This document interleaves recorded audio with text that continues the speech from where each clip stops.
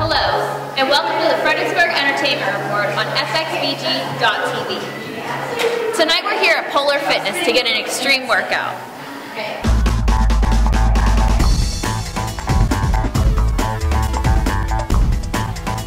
Hi, welcome to Polar Fitness. Come on in. Polar Fitness has a lot of classes that they offer. Parkour, pole, chair, barre, and everybody's favorite, Zumba. We started Polar Fitness back in November 2011, so we've been here for a little over a year now.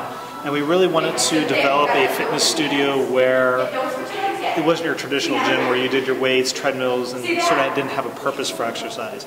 We opened up a studio that focused on movement. So Jason, can you show me a couple moves, what you would do for a beginner?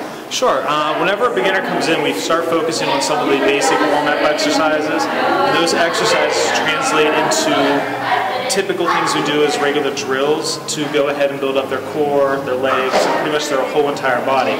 And one good uh, exercise that we do is quadrupedal movement.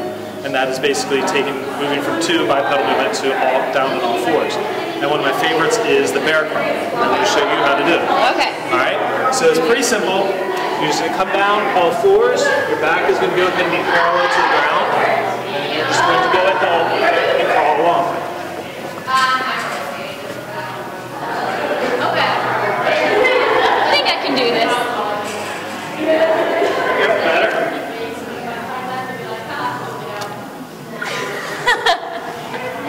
Awesome. Thanks So- for that. Sure. Yeah, it's a it's a relative, it's a pretty simple exercise, but it's just sort of coordination and movement. That's it for this episode, and thanks for working out with me. Always remember that fitness should be fun.